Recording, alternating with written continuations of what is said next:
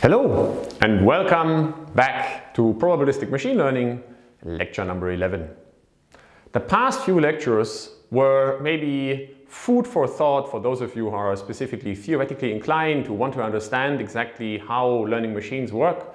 We took a long, hard look at one of the most elementary forms of probabilistic machine learning, which is the Gaussian framework. We saw how to learn linear and nonlinear functions, even with infinitely many degrees of freedom from observations, from real-valued observations, and we took, we looked very deeply into the theory of these models. We learned about concepts like reproducing kernel Hilbert spaces and the associated kernels, feature spaces and eigenfunctions, and various other concepts. We understood both the modeling and the computational challenges involved in doing so.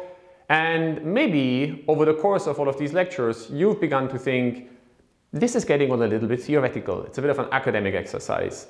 How, what does this all actually mean in practice? So today's lecture is going to be a bit different. To put a bit of an antidote to this load of theory we've been encountering in the past few days, today we'll do a very hands-on lecture in which we take a deep look at one specific data set and think about how to build a regression model for a concrete application. To do so, we'll look at a data set that is very close and dear to my heart because it was genuinely produced by my own body or it reflects data about my own body. So what you see here as um, a scatter plot are recordings of my own body weight over the years from 2009 to the middle of 2013 when the recording ends. I've actually kept records, records since then, but for this exercise this is enough. I have cunningly removed the, the numbers on the y-axis so that you don't know what actually is going on here, so, uh, so that you don't know what my absolute weight was at any point in time. In some sense, I've uh, anonymized the data in this way. I can tell you though, um, that much I will reveal, every single gray line here uh, represents one kilogram. And um, so what you can see here, recorded in here, are the usual ups and downs of life um, as a young academic. So uh, this data set starts during my PhD and uh, basically covers the first few years of my postdoc life. And the task we're going to try to address today, maybe one of them, is to predict into the future how that data might continue to evolve. And at this point, before we even look any further at the data or into modeling, I want you to think for yourself, maybe stop the video if you like, about how you would predict this data into the future. Maybe you don't even have to think so much about, I mean, maybe I've already spoiled you by telling you about features and Gaussian processes and regression models and deep neural networks, but maybe allow yourself to forget about these words for a moment and just think about what you would have, what you would do with your mind if you try to extrapolate this data into the future? What is your best prediction for where that number is in, I don't know, 2020?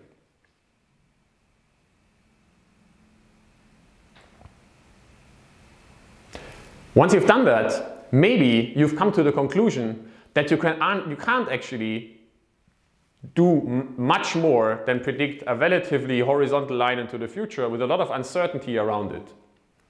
And the reason for that is that I've really only provided you with very little information. I've just told you, actually, I mean, I've provided you with quite some information. I've told you that these are weight measurements and that they are, uh, that they are measured in kilograms. I've even given you a scale for this data. And I've explained what the, what the input is, right? That's exactly the kind of information you often get in a practical setting when someone gives you a data set they could, given what I've just done, I could claim that I've told you what this data is, right? Everything is properly labeled with, meta, with metadata. I've told you what the input is, I've told you the scale of the output. Okay, maybe there's like a, a constant missing here, but who cares, right? You could just assign an arbitrary constant. What is difficult about this? The difficulty is that I haven't actually provided you with the generative information for this data with the causal structure behind it. Just by looking at this data, you can clearly see that there is structure in here.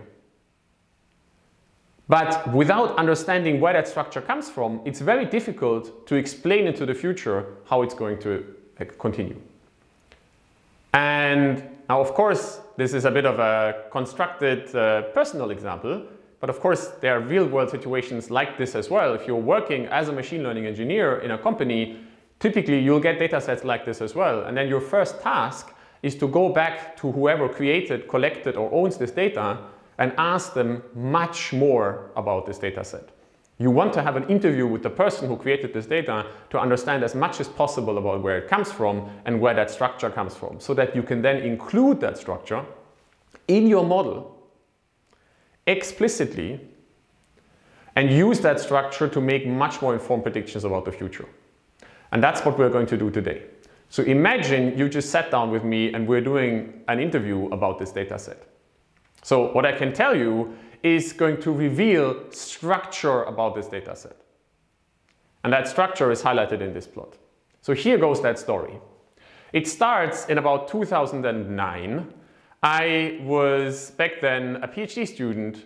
I was living in the UK in a small town called Cambridge, which has a very old university. And it's a bit of a peculiar place. People there live in old monasteries um, which uh, even, even though they might be doing a PhD in computer science or physics as I was doing. And one aspect of this weird college life is that you have access to food more or less whenever you want. So in the morning when I would get up, um, I could, if I wanted to, just walk through a beautiful landscape garden into my college cafeteria and get a full English fire breakfast. I didn't always do that, but I did it way too often. And so at, at, some point, I began being very unhappy with my body weight, and I started recording it, which is how this data set was uh, created. And I actually went on a bit of a diet for a while. You can see that here in green over here. However, I was unhappy with the results of that. It was difficult to diet in a place that had so much food. And then something quite positive happened. I um, had a productive conversation with one of my colleagues in the lab Carl Scheffler, a wiry young South African, a real asket, and he um, took me along on runs. And I started running actually very seriously. I went on, went on runs three to four times a week. Uh, to at, at, the, at the beginning just 5k, but then soon 10k, 12k, 18k, half marathons, and I lost weight like crazy. Basically, the story is if you're running, it doesn't actually matter what you're eating. If you're running enough, you'll always lose weight. So that's this time here. And this time ends around here. I, I distinctly remember in, uh, at the end of uh, 2009, this was uh, the NeurIPS conference, uh, early December. I was in Vancouver in a nice hotel, running on a treadmill, feeling really great and um, good about the outlook on life. And then I um, went home from the conference and I went actually home to my mother's over, over New Year's uh, and, and Christmas to visit some friends and stay with family. And I totally lost control of myself. I kind of realized that the end of my PhD was in sight and I needed to get, I needed to start working. And the new phase started where I actually stopped, I stopped running. One of the problems was that my running mate actually at that point left um, not because he finished his PhD, but because he wanted to work in Afghanistan um, during the war there actually. Um, and uh, so I didn't have a running partner anymore. I, started, I stopped running and I started eating again because I had to focus on my PhD. While I was finishing my PhD, I basically gained back all of my weight, as you can see over here. And then in October 2010, I submitted my PhD. And I had a bit of a phase of reckoning. I could, I could start thinking about the world again. And so things plateaued over here. And then I actually moved to Tübingen in, at the start of 2011 uh, to start a postdoc. And I tried to get my life under control again. I had a new phase in life. I had moved. I had a new position. And um, I didn't go on runs anymore that much because I didn't have a running partner and also Tübingen isn't as much fun to run in as Cambridge because it's nowhere near as flat as you know. And so instead, something that's much easier to do in Tübingen is to go on a diet because the food here is much easier to avoid and uh, in many ways it's more quality than um, if you get canteen food.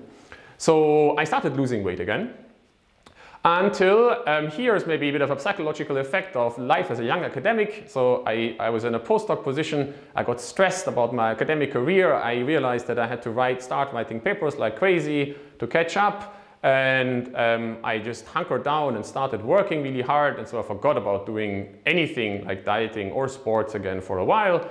And again, started losing control of my weight again. So it went back up. Then um, I had a bit of a career move and I found time again to go to the gym.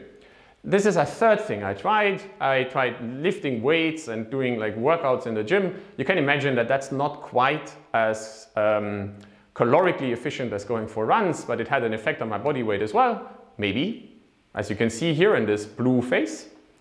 And there was even a phase in between where I tried out for a while to eat purely vegetarian. I've always uh, not eaten that much meat, but I tried to, like, uh, for a while to exclusively eat vegetarian diet. Okay, so that's the story behind this data set. And what we're now going to do is to try and use this structure I just provided to you in this very, very personal one-on-one -on -one interview to uh, predict into the future maybe how my weight could evolve if I took up any of these individual actions again. If I lost control and started eating again, if I continued to go to the gym, if I go, started going seriously running again, and so on and so on. So before we go, get, get into the actual modeling details, let's recap a little bit what just happened here. I've provided you with generative information about this data set. That's a causal structure for the underlying for the sort of observations that you make in this data set. What I've essentially done in doing so is that we've extended the input domain of this function from a one-dimensional space in time to a multivariate space where we have additional features. You could think of these as binary features. So here are um, one, two, three, four, five different activities, right? Running, eating, not eating, going to the gym and eating vegetarian. Five different dimensions along which we've moved. And um, all the information I've given you is essentially binary. So there are certain phases in this data set when we were in that in this additional dimension of the data set, we are either at one or at zero, because I was either running or I wasn't running. Of course, ideally, you'd like much more information. You would like to know exactly how many kilometers I ran on which day, um, how much food I actually ate. Ideally, you'd like to know the, the calorie content of my food. Believe me, I'd like to know as well, but it's just too much work to write it down. And this is a very typical situation with data sets that you're always missing information. no one ever writes down everything. But the more you know, the more information you can collect, the better your model will be. So what we will do now, in a moment, is to try and get that information, what we have, into a model, into a Gaussian process regression framework.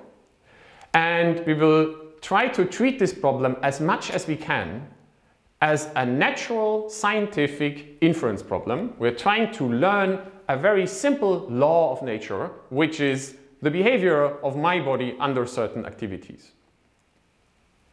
This is perhaps seems like, might seem like a silly example, but it, this really, in my opinion, is what machine learning is. It's the, the mechanization, the trivialization of the process of scientific inference, applying the tools of scientific inference to everyday data sets to massively expand the reach of scientific uh, reasoning beyond the sort of very deep questions that generations of physicists and natural scientists have to think about to everything in our world to be able to predict with much more confidence and understand the complicated nature of our world much better. So to do that, please follow me to my desk where we can open up a Jupyter notebook. Okay, so as always, we start with a bunch of boring stuff. We load up a, a, a bunch of Python libraries. And maybe the only thing to point out here is, apart from the usual plotting stuff, that I'm going to be using a, a library to deal with data that is time structured, that has dates and times. And we're going to use, again, just to re recap this issue, we're going to, to be using very low-level libraries here. It's linear algebra libraries from NumPy and from SciPy, from these, I'm going to use various variants of Cholesky decompositions and um, Cholesky solvers, linear algebra solvers, random numbers from standard Gaussians to draw samples, and of course NumPy. The important thing is we're not calling advanced machine learning libraries here. We're not calling PyTorch or TensorFlow or JAX or anything else. And the reason for that is that Gaussian inference is just that easy. We do not need more than that. Actually, in the end, we're going to be computing some uh, gradients and one could wonder whether it might be easier to use an automatic differentiation library for this. I will actually leave that to yourself if you want to try it out. Okay, so we've loaded these libraries and now of course we need to start with doing a little bit of I.O. So I actually already load so that I can share the data with you later, a data set that has been in some sense anonymized. So what I've done is you can actually see the old code here is I've took the original data and I just subtracted the value at the beginning from it. So that's like a little, my little secret. Um, so that you don't know what the, what the, the absolute value of the weight is. Um, this isn't a standardization in the sense because standardization would amount to subtracting the mean rather than the initial value and you'll see what the effect of this is later on. And then there's a little fun story that back then I actually stored my data in uh, MATLAB files because um, that was a phase when um, I don't actually know why I did that, but I stored as, sort of as, as MATLAB dates. And there's an interesting story about the relationship between Python and MATLAB, which is that MATLAB is uh, 1 based and Python is 0 based. And the effect of this is that to get the data to actually be, um, be read in the right way, we need to take the recordings of the dates and subtract one year and one day from them. This is the kind of issues you often have with working with data from someone else that they might have been using a different framework and the only way to fix these kind of bugs, which can be very subtle, is to actually look at your data and to understand what the numbers mean that are in there. Okay, so I've already fixed that for us. So now we have a, a pair, pairs of x's and y's. They're actually both univariate. x is the time coordinate, y is the, the, the weight measured at that day. And we'll store the number of these um, observations and then there's an interesting thing, which is that of course all measurements have errors. Any physical me measurement is, is, is always only up to a certain precision. And this error will show up as a, as a concrete quantity in our Gaussian inference framework as the noise variance, or actually the noise standard deviation of the measurements, which I will call sigma. And this measurement error, of course, has units. It has the same units as the observations y. So the observations y are measured in kilograms, and therefore the measurement error is also measured in kilograms. And here I will set the measurement error to 100 grams, to 0.1 kilograms. Now I don't just do this randomly without having thought about it. I actually know this because I use a scale to measure myself, to weigh myself, and that scale actually says on the back that it is precise up to 100 grams. Again, we're actually doing physical modeling here, and physical quantities matter. So if there is a quantity in your model that you actually can know, like this one, it's a good idea not to try and infer it. We shouldn't be uncertain about things we actually can know, because it is going to drastically simplify the inference if we know more and more variables uh, about our data and don't have to track them as latent variables. Okay, now we're going to do um, a little bit of plotting as well. So to prepare for that, I'm um, going to take, first of all, going to transfer, transform all the input variables x, which are stored in essentially uh, like floating point numbers that represent dates in years and minutes and uh, transform them into mm, Python date time structures and then create a plotting scale that um, ranges from the start of the data to the end of the data plus one year, plus 365 days, and put a grid with 500 entries on that. Again, this is maybe useful for some of you who are confused by how, how Gaussian process inference works. even though the theory is on infinite dimensional objects, objects that are processes. In practice, of course, we are always going to compute with finitely many representers of this data. And here we've decided to test, if you like, or predict on 500 points across the data range and then on top of that one additional year. Okay, that's 500 and um, we create a corresponding plotting grid like, as well by transforming these floating point numbers into datetime objects so that plotting is easier. Okay, let's do that. And now we know what the range of the data is, just to double check, it's a little bit of sanity checking. It goes from the um, 4th of March 2009 until the 26th of July 2013. And now the first thing you do, and this is not just for fun, it's actually uh, like maybe a teachable moment, the very first thing you do with your data is to plot it. And sometimes there's a little bug, let's fix that. So here we're getting a plot. This is the plot we just saw on the slide, so that's reassuring. We now know that we actually get to see the right stuff here. Um, this is what this data set looks like. It's a little bit small, but you can see the dots. Maybe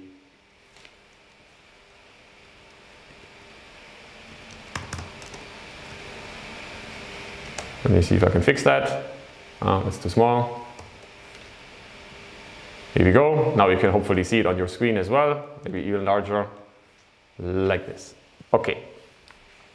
Um, this is important and you wouldn't believe how many people don't do this. It sounds like a totally trivial thing. Of course you look at your data and everyone in a position like me keeps telling you that you have to look at your data. And yet people in practice often don't do it. So it's important to do this because now you know that you've actually loaded the right data. You can also check whether there's something that's gone wrong with your data. You can check whether the x-axis is right. Here the scale is a bit bad, but I can tell you that it looks good. You can check that the y-axis is, is, is right. You will actually notice, maybe I can add a grid so that you can see this. Um, that this here is zero actually, so the data is starts at zero because that's how I've created the data set. So it doesn't have mean zero, it, but it has um, a range that goes from zero to about minus eight in total. Okay, and now what I'd like to do first is to in a quantitative way, redo this thought experiment that we just did in an abstract fashion um, uh, previously to, to just to, to demonstrate and illustrate again that if you don't know anything further about your data, your ability to extrapolate is very limited. So imagine again I hadn't just given you this little start, like this little list of personal uh, embarrassing details, and instead just giving you this data set and give, has told you as an exercise to just extrapolate into the future. Then it's very difficult to come up with a model that explains what's going on here particularly well. So maybe the naive thing you might be doing, and actually, again, this is something many, many people in practice actually do, and we'll see that it's not a good idea, is to just do Gaussian process regression with a generic kernel on this kind of data set. So in previous lectures, I've introduced Gaussian process regression. And so you've actually seen code like this before. You know how Gaussian process regression works. We first define what a kernel is, and so that's the abstract definition of a kernel function. Then define a concrete actual kernel. This time it's the Gaussian or square exponential or radial basis function kernel that we've seen many times in previous lectures. And by now you know that it's actually in many ways a bad kernel, but why not just use that? I mean, any other kernel is going to give relatively similar kind of extrapolatory, uh, extrapolatory behavior. Let's just say um, well, at least any other stationary kernel, we use a kernel that is the exponential of minus the distance between input points squared divided by 2 times a length scale. And we'll set that length scale to something. Um, let's think about that in a moment. Now we will define a Gaussian process prior, which has a mean function. We'll set the mean function to 0. And we could also set it, by the way, to the mean of the data, but let's just set it to 0 to see what happens, because that's what everyone always does. So I'm trying to create a bit of a straw man here of the, the silly things people might do in practice. And then define our kernel. And for that, we have to set this hyperparameter of the kernel. Here is a first interesting insight. It's important to understand that these hyperparameters mean something. You cannot just set it to one and hope that it works. Similarly to how you can't train a deep neural network without first standardizing your data. So this length scale here um, is the stuff that divides the inputs. So the inputs are, and both squared, right? So the inputs are points in time, right? And they're measured in days. So the units of this time measurement in floating point numbers is day, days. So if we set the length scale, then by doing so, we're essentially defining what the time scale is on which we are expecting this data to vary. Well, we can go back up and look at this. So every vertical bar is one year. So clearly the scale here shouldn't be a single day because otherwise this number, this line is just going to wiggle up and down like crazy and it's not really going to predict anything interesting. It's just going to be more or less noise. So instead, let's um, set it to 30 days, which is roughly one month. Okay, I'll do that. And now we can do standard Gaussian process inference. So we um, Okay, I'm not going to redo this code. It's basically just we need, we need these three different variables, uh, three different matrices, the covariance matrix of the training data with itself, the covariance matrix of the prediction locations with themselves, and the covariance between the test and the train points. Then we do a little bit of, of linear algebra, which by now you've seen many times, and just run this. And that's going to take a while because it's actually a reasonably large data set. And then we can plot and you'll see that you get this kind of output. So there's a few interesting things to note here. First of all, of course, we're getting exactly the kind of behavior that we already feared we would get. This model is very bad at predicting into the future because as we move away from the data, it only it simply returns to the prior mean. I mean, it creates a nice little beautiful plot with a bunch of samples and everything is nice and smooth, but this isn't particularly useful for anything, right? It basically means the data is forgotten after a while. But there's more interesting structure beyond that. For example, we can also see that there's actually more variability in the data than is predicted by this model. So remember that the measurement error is 0.1 kilograms, so it's quite small on this scale. This is 0, this is 2, 4, 6, right? So this deviation from the mean is not explained by measurement error. So there's something else happening on top here, which is not currently explained by this model, which is so confident about its um, output in, in between the data. Another thing maybe to talk about is the width of this sausage of uncertainty here at the end of the data. It's, it has a width of 2 above and below the mean. That's because I'm plotting two standard deviations and I've implicitly set the scale of this kernel, the output scale, to be 1. I haven't actually told you this. I've just sort of glanced over it and not said anything about it. And the um, that was basically actually a little bit deliberate, right? So this is a case where there is a parameter in your model which you might not have thought about. If I wouldn't have told you about it, we would just have ran past it and not thought about what it actually means. So in fact, this shows up very, very specifically here. So if I decided to scale the kernel, so I could introduce an output scale, let's call it theta, and let's set it to 3, then we can scale the kernel with it like this, rerun the code, then we will get, I'll go down here so you can already see it, then we will get a plot that is just wider, right, down here. So now the data is basically scaled down and we're getting a much larger posterior.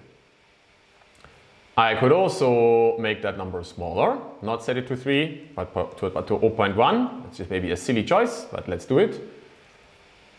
And then the corresponding plot would be much, much more narrow. And this is of course also stupid. So this is important to understand even if you believe that there are no additional parameters to your model, they might be implicitly there and they might just be set to one or to zero or depending on where they show up in your model to some kind of standard value that you haven't thought about. So just by ignoring them, you're not necessarily getting rid of them because they might explicitly show up in a plot like this. So what you have to do to address this issue in practice is to actually look at a plot like this and think about whether it actually represents what you want it to represent. And if it doesn't, then you need to do something about that and fix that in your model. Okay, so there is no gray slide here, but I could go back to this one, right?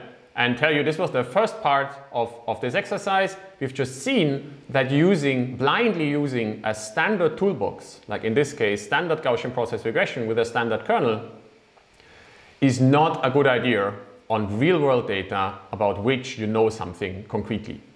Because it's going to predict badly, because it's going to be badly scaled, and because it's going to hide hyperparameters that you should actually choose yourself.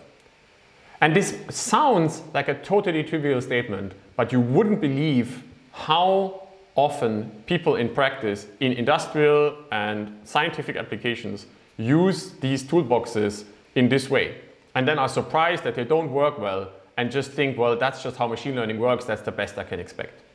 So if you want to fix this issue, you actually have to know what your model does. And that patently means you have to understand the math, and you have to understand the computations, and you have to do them right. That's what's going to make you an expert by following lectures like this one and other ones in your masterclass. Okay, so to fix um, this, this model, basically, to make it actually powerful and useful for something, what um, we need to do is, actually we can do this while looking at this uh, screen again, is to, to introduce this causal structure that I've just provided to you in this mock interview um, into the model and use it to make it more powerful. And that involves various tasks. So first of all, we're going to need to find um, ways of representing in our model these causal structures, these specific, let's call them lifestyle choices at various points in time in this model. And those are going to correspond to, well, there's two different ways to think about them. One is that we could think of these as individual extra input dimensions, as I mentioned before. So at a particular point in time, you can imagine that in this phase and in this phase, there is an, another input variable, let's call it gorging, that is at, at a value of plus one here and there and zero everywhere else. And then there is a variable for running, which is at plus one here and then zero everywhere else and so on. Notice that this is of course imperfect, right? There were other days in here where I went for runs, but we don't know about them. So that's a fundamental issue with modeling. You have to work with what you have. And you could always want better data, but you're always just going to get data with a finite quality. Once we have these features, there is an additional issue that we have to address, which is which we actually just saw when we looked at this basic pedestrian model, this standard Gaussian process regression model, which is that this one model, that smooth model we used, didn't actually capture the dynamics of the data well. It was too confident in its prediction in the regions where um, even, well, there, were no features there yet, but even in, in basically in all the regions, the posterior variance was too narrow around uh, within the observations. It, the, the, the, deviation of the data from the posterior mean was not explained by the sum of the measurement noise and the posterior variance. So, we, so on top of the features, we also need an explanation for the stuff that goes on in the background. There are uh, clearly, there's clearly structure in here that is not explained by the features. Where that structure comes from, you can have a long-winded theoretical debate about, right? You could come up with all sorts of explanations of where these deviations and this internal structure and a few outliers come from. The fact of the matter is that you can only build a finitely good model about them because we don't have access to the true causal structure that caused all of these minor variations. So these are things like, just to put them into a concrete, into, into concrete terms, things like I went to weddings at some point in between and birthday parties and barbecue parties in backyards, um, which caused spikes upwards. And I had the flu at some point. Actually, I had swine flu at some point in this data set, I think and um, various other like, illnesses that caused maybe dips downwards or uh, because I felt bad and didn't eat for a few days, things like this. So these are all hidden in here and they are not explained by the features at all. We need a model that captures these you could think of this as measurement noise, but it's not the measurement noise of the scale. It's not a physical measurement error when I step on a scale. It's actually a background process that also causes deviations. And we need a way uh, to encode this sort of uh, missing structure into the kernel for a background Gaussian process. So what we're going to make, the assumption we're going to make is that the true function we, we're interested in is a sum of various different functions. Error or noise functions in the background that explain this kind of deviation and the concrete causal processes which we're modeling with these individual features. So I'm going to do this by introducing parametric features for these, uh, these causal structure and um, kernels, non-parametric kernels for the background processes. And as I just said, you can think of these causal structures as additional input variables, or you could think of them as additional features. I've actually already started to mix up these, these words in what I just said. The reason for that is that if you, if you remember how Gaussian process regression works, the input dimension, x, is actually only ever evaluated in features or in kernels. That was the original trick that we used to introduce the kernels in the first place. X never shows up lonely, so to say, in our regression model. It's always first evaluate, like we, we it's only, it's always first shoved into either a kernel or a feature function. So it doesn't actually matter what the input dimension of your uh, input space X is, as long as you capture it properly with features. So what I'm going to do in the code is instead of introducing additional variables, I'll directly encode the features. Whether this makes for beautiful code or not, you can decide for yourself. And I very much invite you in your homework, which is going to be related to this issue, to do this in a better way and show it off in our tutorials and maybe in the flipped classroom and then we can talk about it. So let's go back to our Python code and talk about what we're going to do. So here's a little bit of math to explain again what I just said on the, on the slides. We're going to assume that the function we care about, that's f of t, the, the function that actually explained the data, the generative process for the data, that that's a sum of a bunch of individual functions, which we treat as independent of each other because maybe they actually are. They're a causal structure in my life that is separate from each other there's going to be two noise processes. We, I'll call them FSE and FW for Wiener, and I'll tell you in a moment what they are. And then there are a bunch of causal functions, which are um, given by individual functions for the individual lifestyle choices. So there will be in total, actually, let's go back, there will be one, two, three, four, five of these. One for running, one for eating too much, one for um, trying to lose weight by dieting, one for going to the gym, and one for eating vegetarian.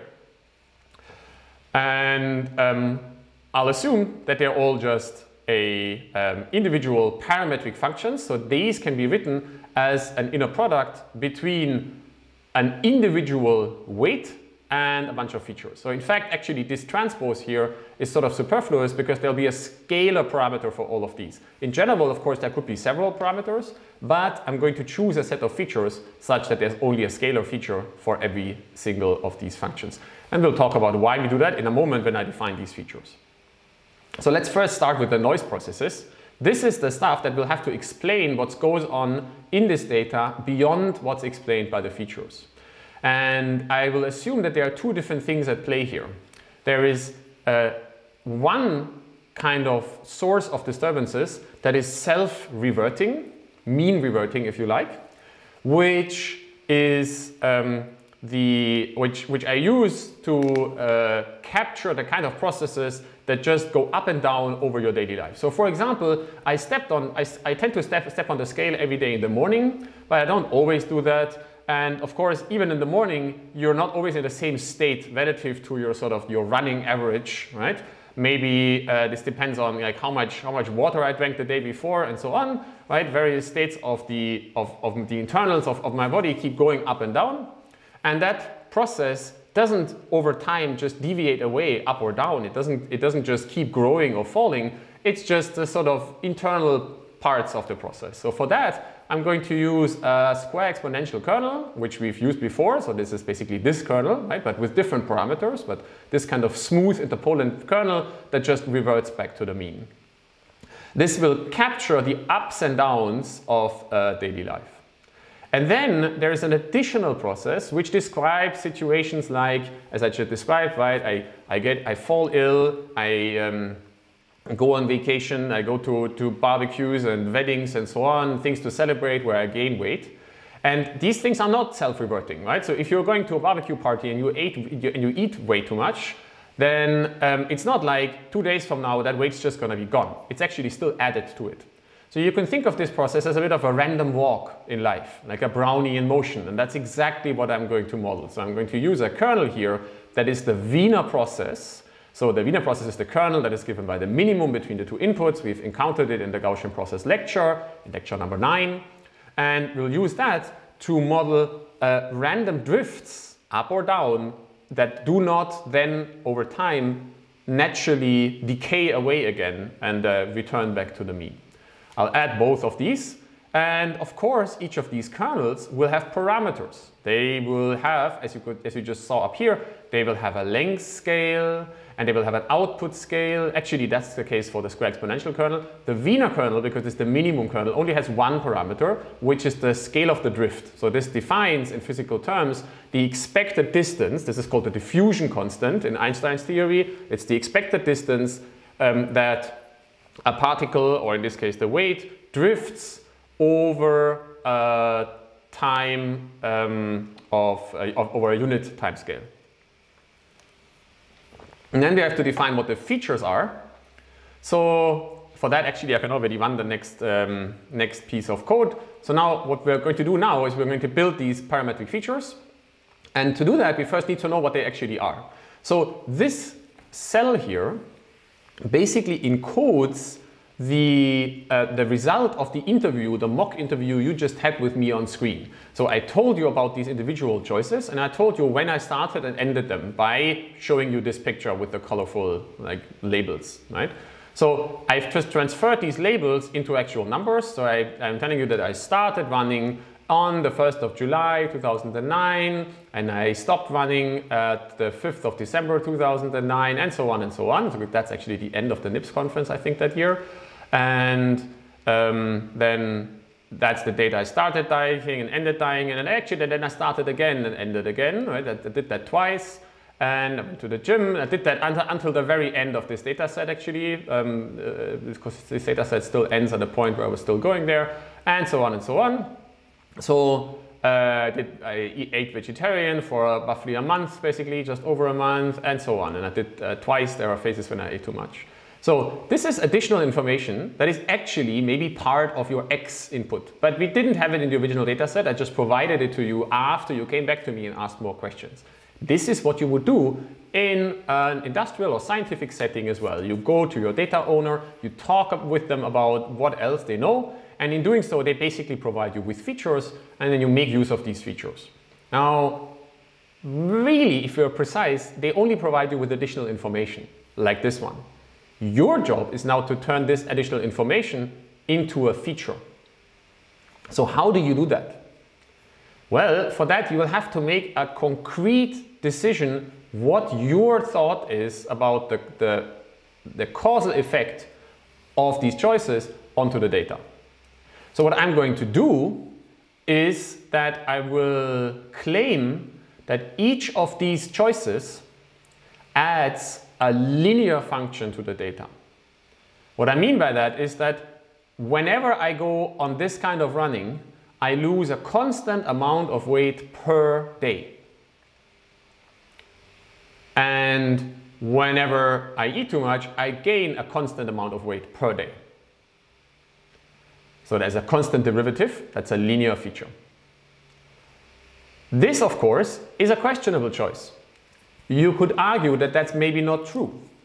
Maybe you think that um, if you, for example, if you go on runs, then over time you'll at some point reach saturation, right? Where you, your body doesn't actually lose more weight uh, because it's reaching some kind of new steady state. I don't think this actually happened in this phase. Maybe it happened in the gym phase, right? So by making a linear assumption, I'm making a small mistake. Now, the fact of the matter is all scientific models, even the most advanced ones, not the ones for trivial data sets like this, but for really complicated stuff, make these kind of simplifying assumptions because you have to work with something.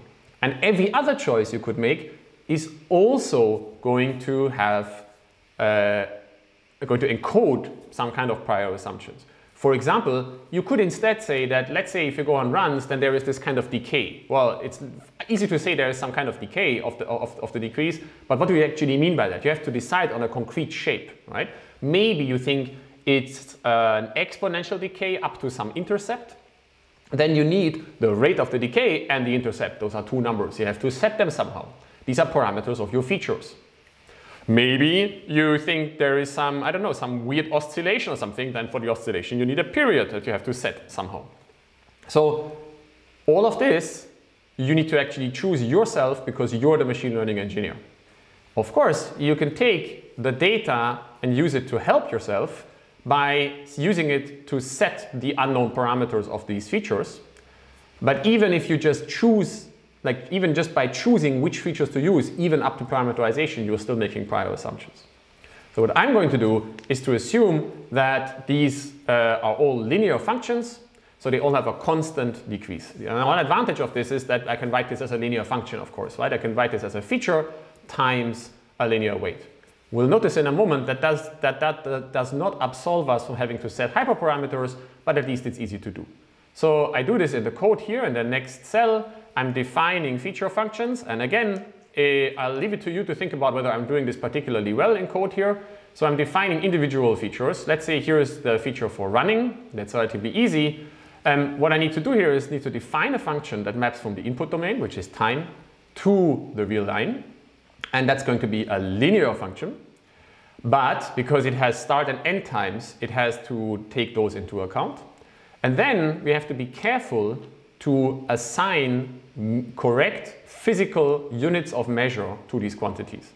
I will decide to use, so if you're using units of measure, you have to decide what the units are. I've decided to use the units grams per day in, for these features. So those will then be interpretable as meaning this is how many grams you lose per day if you're doing, or lose or, or gain if you do this activity.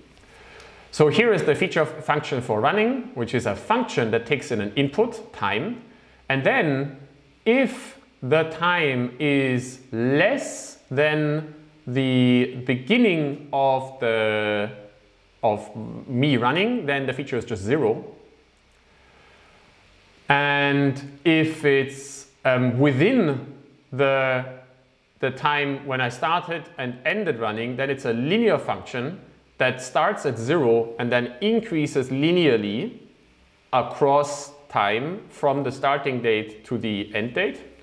And then at the end of the, uh, of, of the running phase, it just becomes a constant function, just stays constant. This is important, right? You could think, maybe think for yourself about other ways you would have encoded this kind of linear feature it's not the fact, it, this feature does not start at zero, go, goes all the way up to the end and then drops back down to zero. You can think about what that would do to our regression model.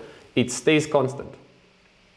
It also starts at zero at the beginning of the running phase. It doesn't start anywhere else. Again, you can think about what other effect this will otherwise have. Now, this is maybe easy. Here's an, an, another feature for dieting. Dieting has the interesting aspect that I did it twice. So there is two start and end dates. And what this code encodes, so it's a bit nasty to look at, you can do that um, slowly if, if you want to stop the video, is that it um, measures when, like it, it, the feature is zero before the start of the first dieting phase, and then it grows linearly until its end. Then it stays constant and then starts growing again until the second end where it becomes constant again. One other way to think about this is again in terms of input domain. So you could think of dieting as a binary choice that so that each data point, each datum is either at zero or at one. It's at zero if that's during a phase I didn't diet and at one during a phase when I did diet. And then what these features encode is an integral over these days, over the values of this underlying input dimension per day. Mm. Oh, across days. And at the end, I'm dividing by a thousand. This is because the output variables are measured in kilograms and I want these features to be interpreted in grams. So I'm dividing by a thousand. And because this is measuring time here, it's counting days, the total units of measure of this object, of this feature value, are grams per day. And then I do that as well for the other um, for the other choices, for um, eating, for eating vegetarian diet, and for going to the gym. Fine. And now what we can do is we can make a plot so that you maybe have an understanding of oh, what just went wrong. Uh, I forgot to run this cell. Let's do it. Do it again. Make this plot. Um, now what you see here is I'm plotting the data set from below, just so the PC see it.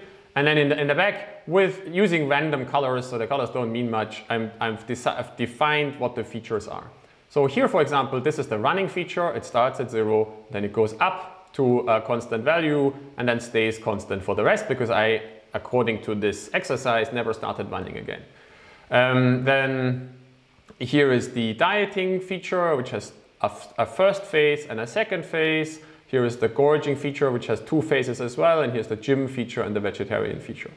Now notice that they all go up to some value, and of course it looks like these are not good models for the data because they go up. But what we're going to do now when we do inference, machine learning, we're going to learn the weights for these features, which are going to turn them around, up or down, to learn positive or negative weights for them. So to do that, we now, this, this is uh, writing down our generative model, if you like, the feature functions, we now have to actually um, assign a probabilistic model to these, um, this structural description. So to do so, I will define a kernel, a joint kernel, which captures the sum of all of these features and the two noise processes. Remember, sums of kernels are kernels, so the sum, the covariance of a sum of Gaussian process functions is itself a Gaussian process functions with a function with a kernel that is the sum of these kernels. So let's do that.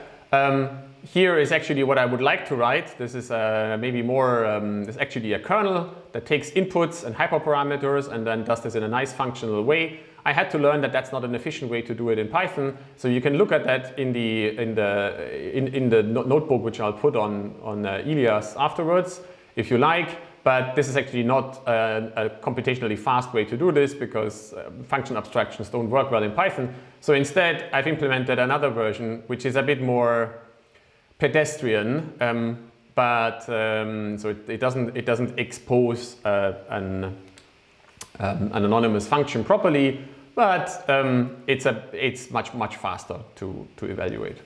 So we already run that. So what this function does is this is really like the core of our inference machine. It's the kernel. It will define a joint kernel that is the sum over the individual processes, the covariances of the individual processes. So that means it's the structure of a kernel. It takes as its input two inputs, A and B, and a bunch of hyperparameters which define the model. So, which we will learn in the end. So these hyperparameters have physical values as well. So um, these are the these are uh, all the parameters that the kernels and the features have as well. What are those? So let's first unpack them. I will actually store these in um, as, as the logarithm of their actual value because that makes uh, optimization easier. Let's forget about that for the moment. Um, we'll, we'll talk about it more at the end of the lecture. So um, Uh, there will be in this total model one, two, three, four, five, six, seven, eight different hyperparameters. These, so hyperparameters are quantities that you have, that you cannot do inference on because it's computationally too expensive. Instead, I'm going to optimize them by maximum likelihood, and I'll show you how I'll do that. So what are these parameters? There is a length scale for the Gaussian kernel that I use for the periodic, uh, not periodic, but for, the mean reverting process. That will define the scale in measured in days on which weight, my weight um, just sort of moves up and down over time according, uh, uh, caused by some random processes that self-revert. Then there is an output scale for the kernel, for this kernel, for the square exponential kernel. So that's the amount of data that has to be explained relative to everything else by this mean reverting process. Then there is an output scale for the Wiener process, for the Brownian motion, for the random walk behavior. That's actually, um, you can think about this as an output scale or as a drift constant, as a diffusion constant that is measured in days as well. That's the, uh, actually, sorry, it's measured in kilograms. That's the amount, or in grams, here we go, in grams. That's, no, in kilograms. That's the um, amount of weight diffusion per unit time, so in this case per day. And then there are scales, so intensities for the individual features. So why do we have those, why do we need to have these? So these are going to be multiplicative in front of the individual, these individual features. We need to have these because each of these processes has a different intensity. Going on, going on runs has a different effect on my body weight than uh, eating vegetarian, for sure. So we can actually almost see this from the data. Now, because these show up in a sum, they, their relative scales actually matter. What these correspond to in our prior predictive model are the diagonal entries on our prior feature covariance matrix capital sigma. This is not going to be a scalar matrix, it'll have individual components and they, these will capture the relative strength of these individual effects on each other. Notice that annoyingly, we cannot learn these um, in a closed form Gaussian fashion because they are part of the prior covariance matrix. So we just have to live with the fact that we have to set these. So let's say you set these, then what, this, what does this function actually do? So um, here I will be relatively superficial. It's, it's, probably best if you look at this code yourself on Ilias. I defined first the square exponential kernel. We've already done that above, so it's just the same thing again. Now I'm just a bit more careful about the, um, the units. So I first define the kernel without the output scale. Again, it's the exponential of minus square distance divided by 2 times the length scale, uh, the time scale on which things move up and down. Oh, and then I actually divide by a 1000. So now we know what the output dimension is. It's grams per day and that's going to be our kernel and um, we'll in the end we'll scale it actually with the relative um, with the relative output scale that will happen at the end of this code then there is the Wiener process which is the kernel that is given by the minimum between two inputs. We've used that in lecture 9 if you want to know more about it go back there. Um, there will be this kernel needs an offset because it describes a stochastic process that has a distinct starting time. So I need to put that somewhere. I'll put it to the beginning of the data set minus one day to make sure that even at the first day, there's already a bit of flexibility in this model to start the diffusion. So the, we're pretending that the random walk process starts one day before the data starts. That's fine. Why? Because I've scaled the data such that the very first datum is at zero. If I hadn't done that, this would not be the right scale to set. Maybe think about why that's the case for yourself. Then I define the Wiener process, which is a kernel that takes as its input A and B and then returns shifted by the offset the minimum of these two numbers and again divide by a thousand squared, so square because it's a variance, that will give me units of measure that are grams per day. That's our Wiener kernel. Here we go. Then um, this, so this function is now written in a way that it actually already takes the inputs and evaluates these kernels. So now we have matrices of corresponding rectangular size in general. Then we evaluate the features. For this, we just have to take the inner product between the individual features because that's the covariance of between uh, these individual um, functions with themselves. And then we sum up all of these to get one kernel. And here at this point, we actually can multiply them with their individual covariances. These are the scales for the individual outputs. Um, that come, these are all individual hyperparameters and they define the relative size of these individual stochastic processes relative to each other. And then I'm actually also computing derivatives of all of these, let's call them kernels, relative to each other. You can try for yourself that that's actually the correct way to define these derivatives. So what are these? These are derivatives of the individual kernels with respect to their hyperparameters. And um, I'm not going to do the derivation here. This is actually usually quite straightforward. So for the, for the output variances, it's quite simple. It's just, um, you just take the, the, the derivative of, like that's a, this, this kernel function is just that individual parameter times the kernel. So you just take the derivative, that's 2 times the scale times the kernel.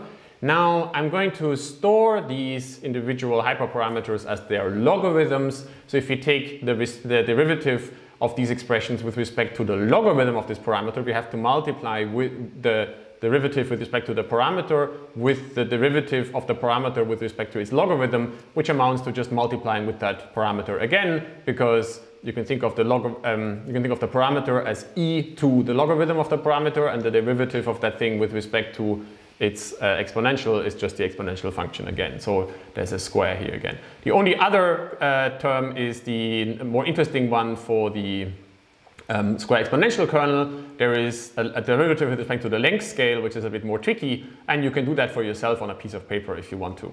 So this is the point where you could, um, where, where you could also implement this individual expression for an automatic differentiation framework, but I'm not going to do that. So what this allows us to do is now I'm going to define some first guesses for what these parameters are. I um, will assume that the length scale for the mean reverting process is one day, that the length scale for the, the stationary, uh, um, the output scale for the stationary variation is something like 200 grams. I did that by looking at the data a little bit, and 50 grams for the diffusion process, and 10 grams for each of the features because I don't know yet. 10, 10 grams per day for each of the features because I don't really know yet how good they are. If we do that, we can then do essentially Gaussian process regression, right? Or actually um, first check whether this model is any good by, and this is again an important point, something you do at first, by drawing from the prior. So this is something you can do in a probabilistic model that is basically impossible in a statistical machine learning model. If you have a prior, you can draw samples from the prior and use that to investigate whether your model is any good. I do that by building the kernel Gram matrix over all the data adding a little bit of a nugget to make it definitely symmetrically symmetric positive definite, multiplying with a random number, adding a prior mean, which I've set to zero, so I'm not adding it, and then just making a plot. And this is what this plot looks like. So this is a, the kind of plot you should definitely do if you can, and um, use it to see whether your model is good. What, what do we actually do here? So what I've plotted here is I've, I've plotted the true data set, and on top three samples. So here I've plotted, you can see this up here, I've plotted the true data set in the same color and then three random samples from the model. So one thing you should do now is to look at this plot and decide for yourself whether you can still make out the true data.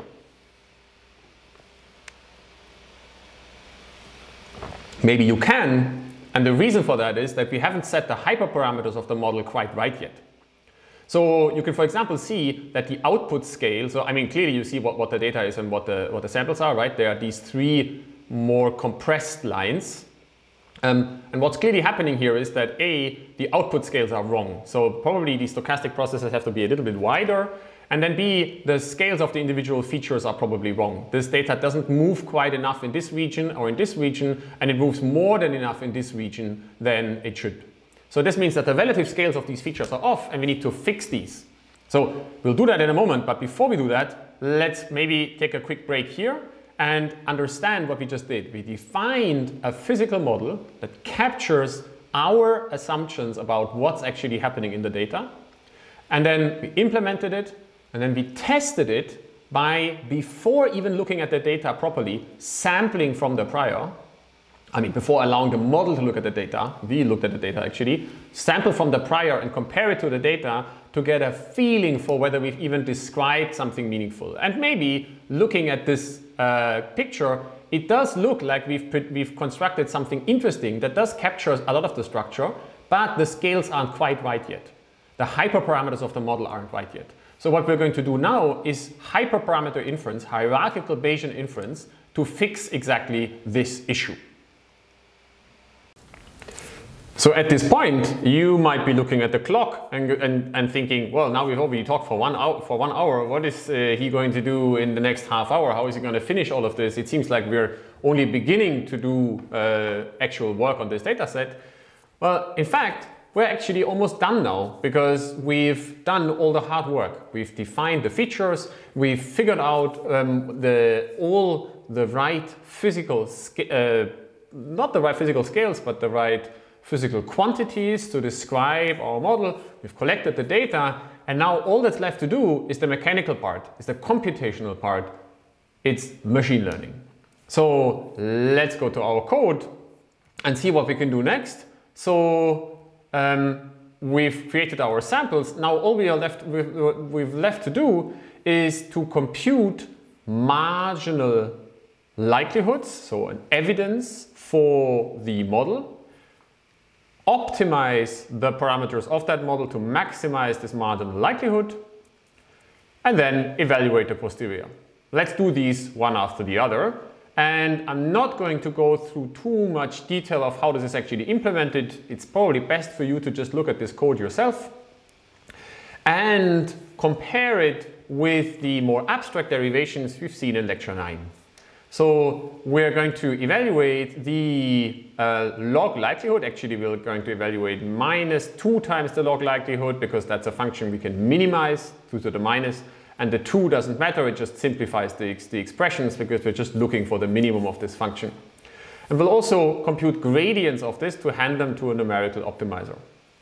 So let's do that. In this function, I'm defining what the log likelihood is. I'm essentially implementing this function up here. So for that, we need the data, we need the values of the hyperparameters, and every time the optimizer is going to evaluate this log likelihood function, we will compute the corresponding kernel matrices and the derivatives of these kernel matrices with respect to their inputs. Then compute the kernel gram, uh, the, the, the covariance matrix of the data, which is the kernel matrix plus the noise covariance. Then compute log determinants. And um, so this is actually the log determinant of a symmetric matrix, symmetric positive definite matrix. Compute this expression here in the middle, this quadratic function, this quadratic form, where we take an inner product, and for that we solve once from the left-hand side for g, and then multiply with um, y from the other side, and compute gradients. So for this, I'm using the results that we had on the corresponding slides for differentiation in lecture 9. Just compute that. So this is actually easily implemented. Now, at this point, what I've done is I've implemented a gradient, and I've told you in previous flipped classrooms that whenever you implement a gradient, you have to make sure that it's actually the right gradient. So to, to, to do that, I will include in this um, notebook, even though I'm not actually going to run it now because it takes too long, but you can look at it later, a piece of code that actually compares the analytic derivative that is implemented here in these three lines with the numerical value for the derivative, which you can approximate by a finite difference. So we just take uh, individual values of all of the hyperparameters, and for each hyperparameter, once evaluate to the left and to the right, and take the finite difference and um, this balanced finite difference and divide by the distance and then compare these log likelihood values to each other. So um, you can actually look at what the output of this is. This is essentially a test to see whether the analytic computation and the numerical computation are the same. And then I'm also plotting the relative distances and you see lots of small numbers here. Everything is much, much less than one. So therefore, this computation is reliable. It actually computes the correct gradient. Good, that's just a unit test. Of course, you should always do unit tests, but um, we shouldn't spend too much time on that now. It's easier for you to just look at this yourself. So we're just going to uh, go to this cell here. Here, I'm loading an optimizer. This is one of these black box methods. We're not even going to talk about exactly what this optimizer does. For once, let's just rely on a little black box. And what this thing is supposed to do is it will try to minimize the negative marginal log likelihood of our model. So it's going to try and make our model predict the data as much as possible under the prior.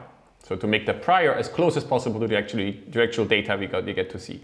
To do so, I'm handing this function the, um, the handle to our log likelihood function, which returns function values and gradients, an initial value for the hyperparameters, the one we set above and draws two samples from. I'm telling this function that there is actually a gradient, a Jacobian to compute, so please use that and try it. And then I'm telling it to do this at most 15 times and to display the output. So I'm actually gonna watch this a little bit with you as it's running. So this takes a little bit of time. And what you can see here is in every time we get an output, because I've plugged, I've written the corresponding code into the um, piece of code above that, this, that computes the log likelihood, we see where the optimizer tries to evaluate the hyperparameters and plot out the negative log likelihood. Sorry, the actual, uh, the negative log likelihood, yeah. So this is a number that we're trying to get small rather than large. The first evaluation that the optimizer makes is at a value of 5,371. So the probability for the data is minus uh, e to the minus 5,371. It's a very small number. That's why we're using logarithms of likelihoods rather than likelihoods. Otherwise, we would get into trouble with our floating point range. The next time we, the optimizer tries something, we're at a much, much better value. So remember that we're trying to get this small. The optimizer does something smart, it plays around and actually then and has to try a few larger values. This is while it's doing a line search to decide how far to step and then finds an even better value. And now as this thing iterates, we will quickly see it find relatively good values. So these are um, about a factor of 10 or more, actually more like a factor of 20 less in log space, which is extremely more likely, right? For the data, while this runs, um, we can basically lean back and watch our machine learn, right? So the process that you're observing here is literally the machine learning, right? It's uh, trying out different values for the hyperparameters of the model, trying to find good uh, values. And you can see that this takes a little bit of time, but we can actually do it while we're watching it. Now compare that with uh, deep learning where you might have to um, wait for a little bit longer. You'll have to, you might have to play around with different optimizers. You might have to subsample, do stochastic optimization, use stochastic gradient descent and so on. And you might have to rerun this code more uh, over and over again. Here, we're done once we've run it once. And we can rely on this optimizer doing something meaningful because it's not a stochastic problem, it's a deterministic problem. Our optimizer tells us that it has done 15 uh, iterations, which required 19 evaluations of the function, and it has reached a value of 258, which is a reduction in log space of about a factor of 20. That's pretty good. And now we can see or ask um, the code what were actually the values that the um, optimizer chose. So um, these are the values that it found. These are the corresponding values of the estimated inverse Hessian of the objective function at that point. None of this is actually all that important for us. The most important uh, uh, thing is that this choice here. Those are the values of the optimal hyperparameters. Now remember that these are the logarithms of the actual hyperparameters because that made optimization more efficient. So instead, let's print the, um, uh, the exponential of those values. And now we can look at these and remember what they actually all are and they will give us an interpretation of um, the numbers that this thing has found. So remember, I need to go up a little bit. The hyperparameters were defined to be, ah, maybe I should have copied that somewhere. Here we go. How, you know what? I'm just going to copy this down so that we can look at it together. So the optimal found hyperparameters put them here. Our, this one is the, is the length scale of the stationary noise process. It's actually less than a day. This is the um, output scale of the, the stochastic this, uh, mean reverting noise process. It's actually it's on the order of grams, right? So this is about 600 grams, half a kilogram of up and down motion um, just in this noise process. This is the scale of the diffusion time, so that's in grams per day. So we're talking about um, 89 grams a day of random walk up and down. That may seem relatively sane as well. And then these are the relative scales in grams per day of these individual um, causal processes. So we see that they are not the same anymore, even though they were initialized to be the same and that they have different values. In particular, the one for running is quite large compared to the other ones. It's something like um, 90, uh, 29 grams per day for, for running, something like uh, 0.8 9 grams a day, so almost zero for eating vegetarian and so on. But those are just the scale of these, of these priors. They are not the actual values, the predictions for the weights of these features. To get those, we now actually compute our Gaussian process posterior over the noise processes and the weights. We can do that relatively simply by applying the linear algebra part of our model. So that's the, the, the basically the code again that we spoke about in lecture 9 and also before that in lecture 7.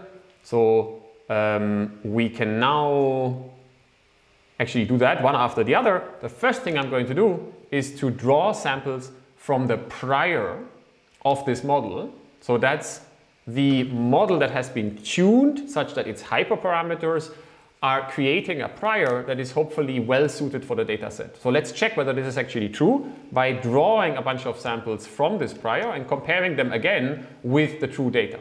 So in this plot that you see here, somewhere hidden is the true data. And there are three other samples, I think it's three, no, five other samples from um, the prior of our model. Now, the question to you is, do you still see the true data? Well, maybe you do because you by now memorized what the data looks like and because you know that in the first phase it has to drop and not rise. But other than that, this is actually a pretty good prior distribution over potential outcomes.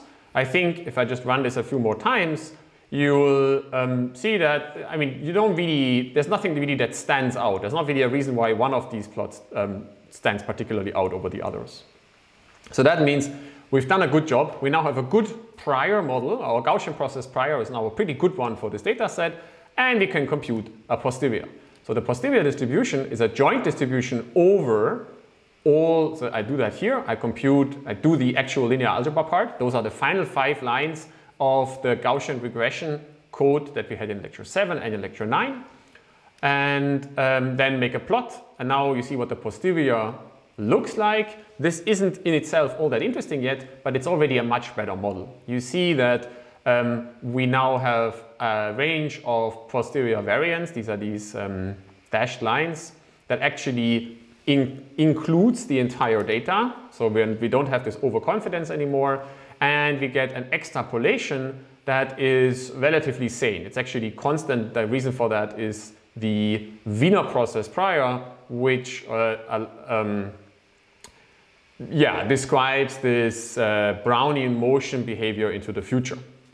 This is under the assumption that there are no further features after afterwards. So remember the way I've defined the features is that I've assumed that after the end of the data, there is none of these lifestyle choices are active anymore. So what we see here is the model predicting what happens if you don't do anything. If I don't start running again, if I don't go to the gym, if I don't diet or eat or anything else, this is the random walk behavior that the model keeps predicting. What, however, would happen if I would continue to make one of these lifestyle choices? Right, for this, we have to look at the marginal posterior over the individual weights of these features. And to do so, we can compute these. Um, doing so requires to compute a marginal. For this, we can use the fact that the model we're building is a sum over individual components, two noise processes and five different features. And we want a marginal over one of these features. To do so, we just have to project the posterior over the entire function out onto the single marginal for this one quantity. Doing so, it's easiest for you to just wrap your head around by staring at it for a while, is to compute these, this marginal vector over the weights. So this means we compute the Gaussian process posterior almost like we multiply the um, observations with the inverse of the kernel Gram matrix and then we just compute the covariance between the data and the individual components of the function which are the feature functions scaled by their prior covariance. We do that. So this is again something it's easiest for you to just actually look at this code later. It's not good if I go through this line by line because it's just going to be like tedious for some of you. So I actually compute these, the entries of this vector.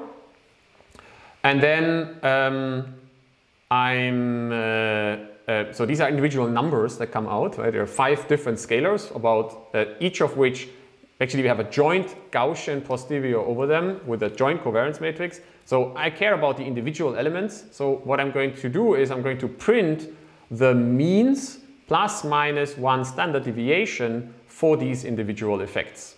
And for that, I just have a little bit of like Python code here to print formatted, well-formatted sentences. And we get, in quotation marks, a scientific answer to the uh, inference problem of how do individual lifestyle choices affect my personal body weight. And it turns out that if I go running in the way I went running back in the day, I would lose typically about 30 grams a day plus minus 7 grams. And if I go on a diet, I lose a little bit less on average, but actually within the error bars, these two are almost the same value, about 25 grams a day. And so you can see that these are not extremely large values, right? They are not, they are not like kilograms uh, per day, which is not surprising because these are, these are actual systematic changes. They're not just random fluctuations.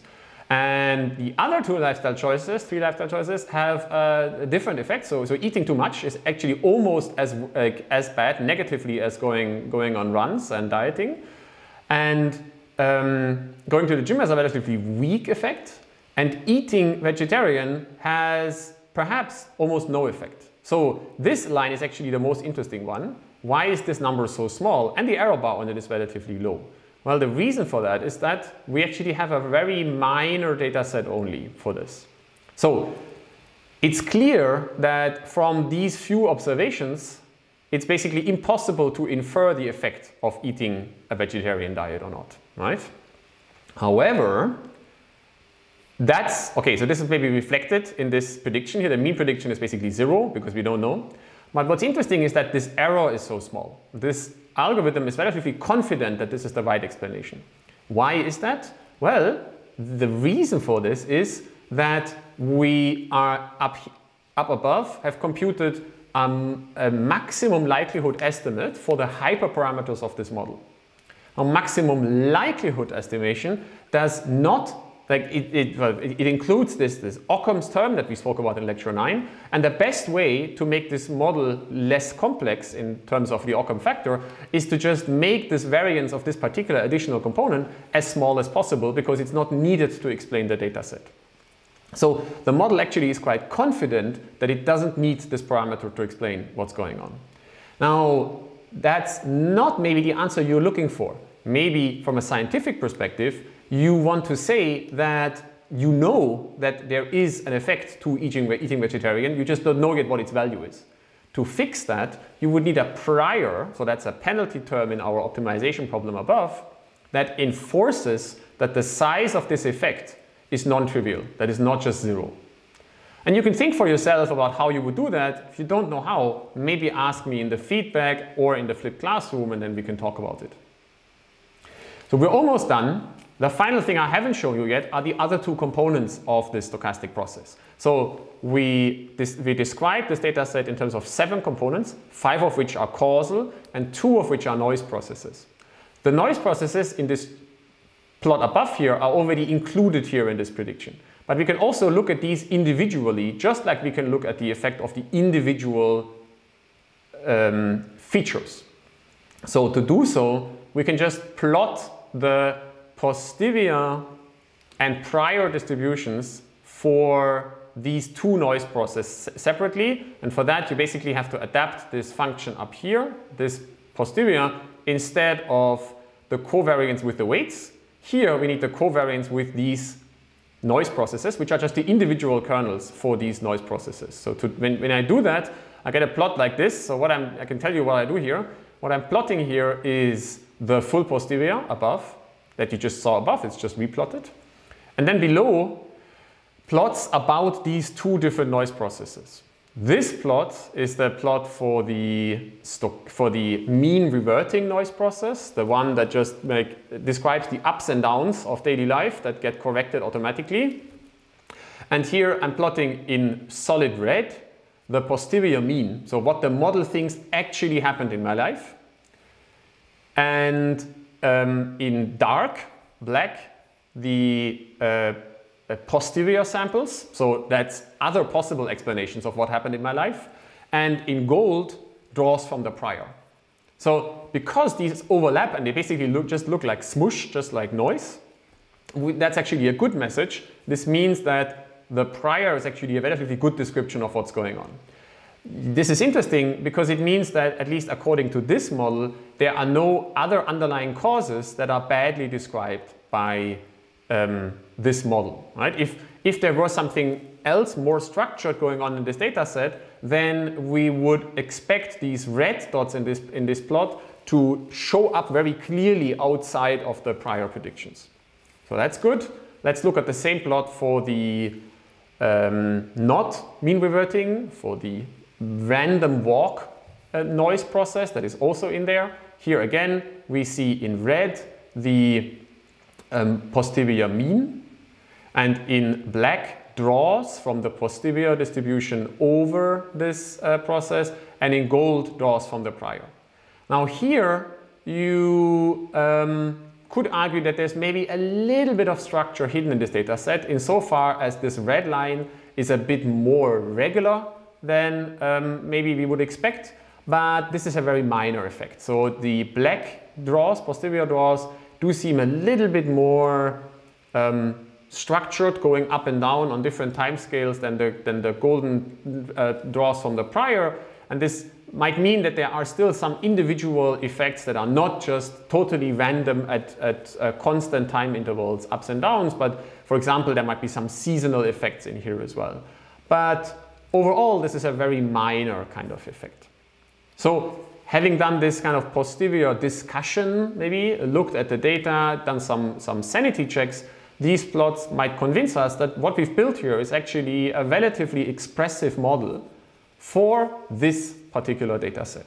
And what we've learned from it is that, or at least personally, I, for me, have learned that if I make certain choices in my life, I can expect certain changes in my body weight over time and um, that they are roughly the same regardless if I either start to eat less or very seriously start to, to work out and that allows me maybe to take a, a better decision about how to structure my life.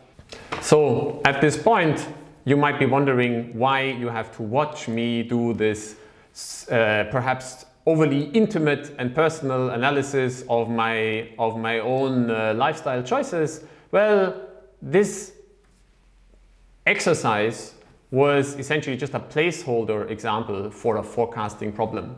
And so what we've done here is we've looked at a time series that evolves over time and is affected by certain causal processes which can be chosen to be followed in a particular way. I can choose myself to go on runs or eat more or less.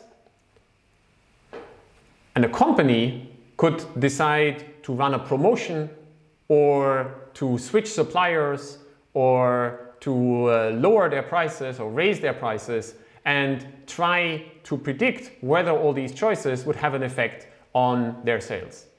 So to drive that point home, I can tell you that in um, 2016, Amazon the team, a team in Berlin um, led by this guy, Matthias Seeger, who is actually an alumnus of uh, Tübingen, made the interesting decision to release a paper at, at NeurIPS, or publish a paper at NeurIPS, which essentially more or less reveals how they do their demand forecasting. So here is a large company with a, with a, a large amount of item in stock, not just one individual one, like in my example, but many, many thousands or hundreds of thousands of items and they would like to predict how much of these items they are going to sell at particular points in time and there are underlying causal reasons why items sell. Some of them are controllable, like you could decide to do a promotion or lower or raise their prices. Others are not controllable. For example, there are maybe just seasonal fluctuations. There are effects out in the world that cause certain items to become more popular or less popular, whether it doesn't really matter what the case is, one way or another, you would like to describe these kind of causal processes, and to do so, you have to build more or less exactly this kind of model. For every individual item, you have to build a time series and predict how it's going to evolve into the future.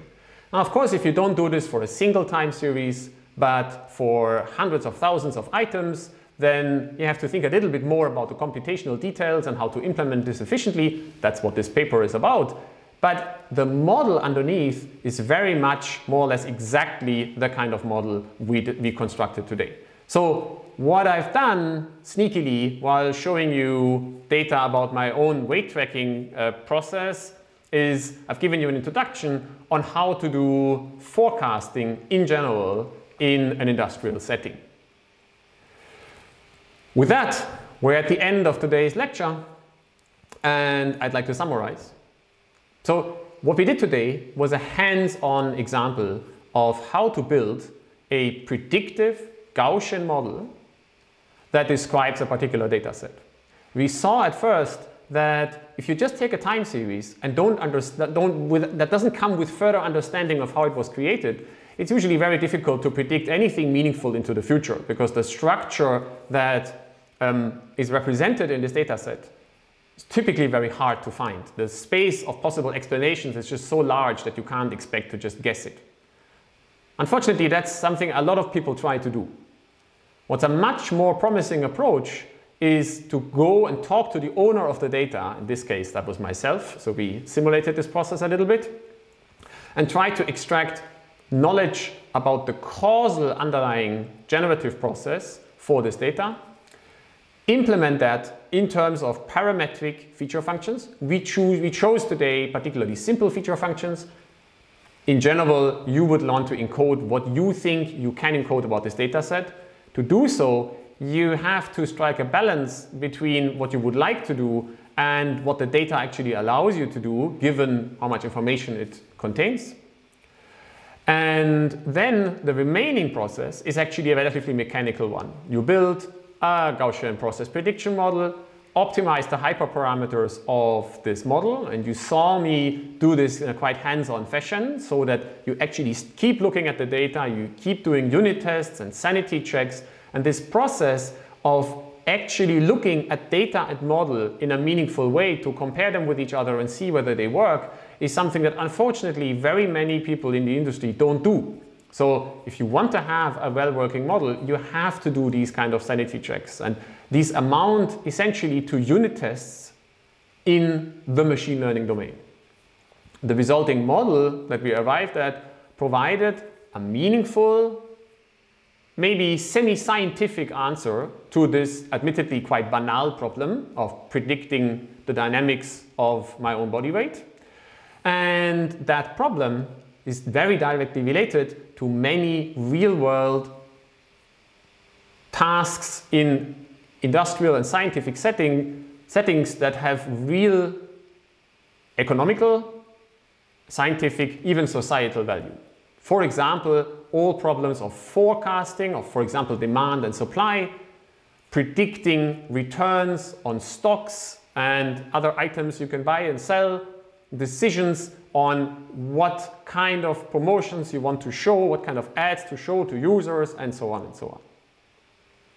The ability to build these models clearly goes beyond just using black boxes. And to be able to build such models in a really good way, you need to have an understanding of the mathematical model that drives this entire process and also a kind of a hands-on grid on that allows you to actually work with the data and not just wave some, some uh, mathematical formulas around. I tried to show you an example of how to do that today. It's obviously a very limited, simple example geared to a compact lecture, but I hope I've given you an idea of how to build concrete probabilistic machine learning models for this kind of relatively simple structured regression problem yourself. With that, we're at, the, we're at the end. Thank you very much for your time. See you next lecture.